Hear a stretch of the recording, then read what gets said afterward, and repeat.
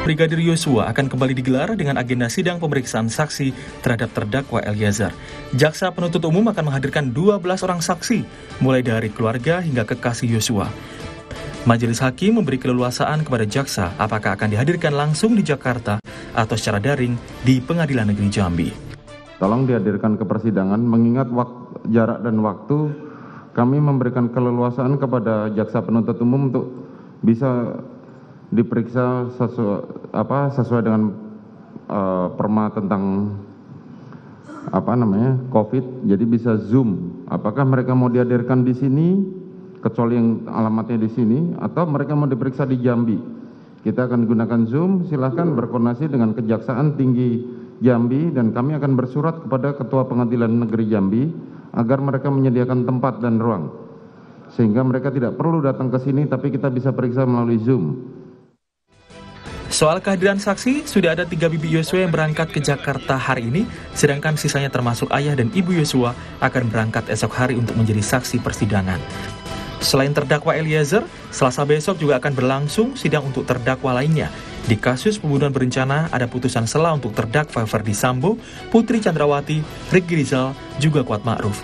Sedangkan untuk kasus obstruction of justice, ada pemeriksaan saksi untuk terdakwa Hendra Kurniawan dan Agus Nurpatria.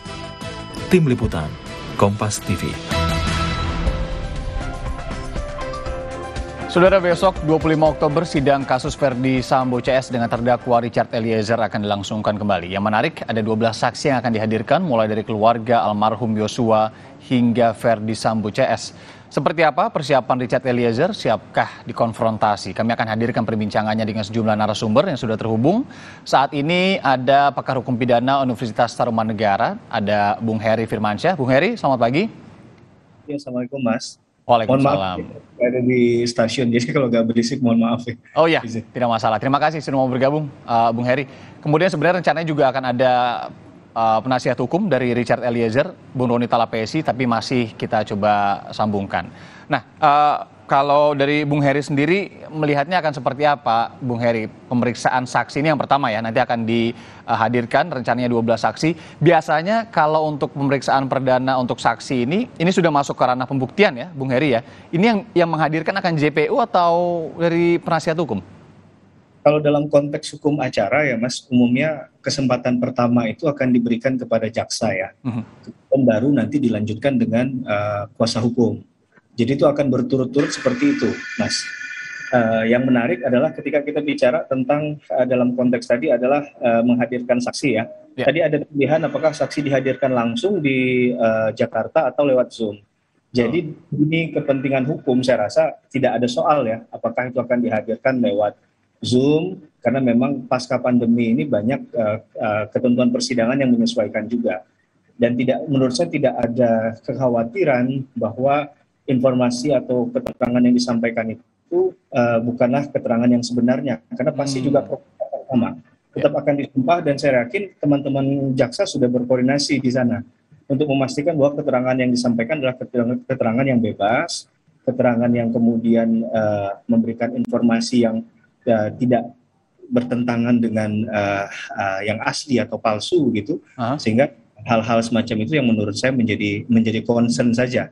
Tapi setidak-tidaknya tidak ada pelanggaran terhadap hukum acara jika memang keputusan oleh majelis hakim nanti adalah uh, dihadirkan secara daring dan juga in, terkait dengan informasi yang disampaikan jaksa. Karena memang jaksa yang mengetahui uh, persoalan teknis tadi gitu ya secara esensi nggak masalah ya mas ya kalau dihadirkan uh, secara zoom gitu. Karena ini apakah ini hal yang baru juga untuk untuk mencari keterangan dari saksi saksi-saksi mas kalau melalui daring tadi? Kalau melalui daring menurut saya tidak ada yang uh, baru gitu ya karena memang hal ini sudah uh, sudah sering dilakukan.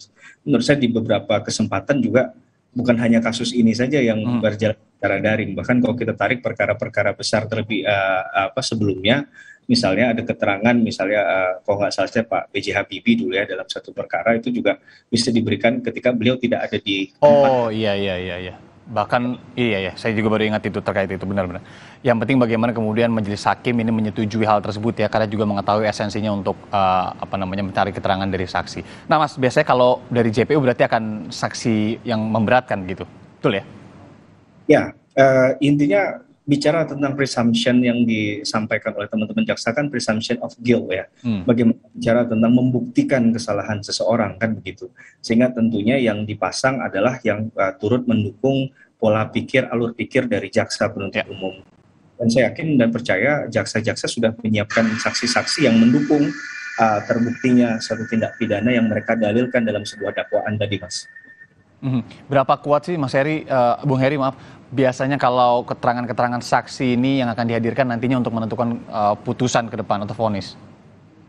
Ya, kalau kita bicara hukum acara pidana, bicara alat bukti, hmm. pasal 184 KUHP ya Mas, uh, keterangan saksi itu menduduki posisi yang menurut saya paling atas ya, paling kuat. Karena okay. bicara kebenaran material kan bagaimana membuktikan kesalahan seseorang ya. Dan itu biasanya kata kuncinya ada di saksi. Saksilah yang melihat, mendengar, mengalami sendiri peristiwa uh, pidana yang terjadi. Nah persoalannya kan Barada ini juga termasuk dalam pusaran uh, perkara yang sedang dilakukan proses persidangan saat ini kan. Nah uh mhm. -huh. yang kita tentunya konsistensi dari Barada E untuk menyampaikan kebenaran uh, tidak lain dari yang sebenarnya karena kita perlu ingatkan juga kalau sampai seandainya beliau ini menyampaikan yang tidak sebenarnya satu bisa dikenai keterangan palsu ada sanksi pidananya dan yang kedua juga merugikan beliau sendiri kan? Karena dalam hal ini masing-masing pasti inginnya keringanan hukuman atau yang paling tinggi adalah lepas dari jeratan hukum. Dan saya tidak yakin kalau uh, di luar dari Baradae akan kemudian bisa membantu proses untuk Baradae sendiri. Hmm. sehingga ada jaminan no guarantee buat hal itu. Sehingga tentunya Baradae harus menyampaikan apa yang diketahui sebenarnya untuk kemudian mempermudah bahkan bisa memperingan hukumannya jika di akhir nanti dipertimbangkan oleh majelis hakim yang mulia. Oke baik Bung Heri, kita juga sudah bergabung bersama Bung Roni Talapesi, penasihat hukum dari Barada Eliezer. Bung Roni, selamat pagi. Ya, Salam sehat. Selamat, selamat pagi Bang. Ya, Bung Roni. Saya, uh, saya sempat memperhatikan tadi yang disampaikan oleh Pak Febri, Pak Heri ya. Bang Heri, silakan. Tapi begini, ada yang tidak adil dalam hal ini. Ketika kesaksiannya Richard Eliezer disampaikan satu saksi bukan saksi, tidak dipercaya. Tetapi ketika kesaksiannya Putri Candrawati yang notabene hanya satu saksi, itu dipercaya oleh pengacaranya uh, mereka. Nah ini yang nggak adil buat kita kan. Siapa yang mau dipercaya dalam hal ini?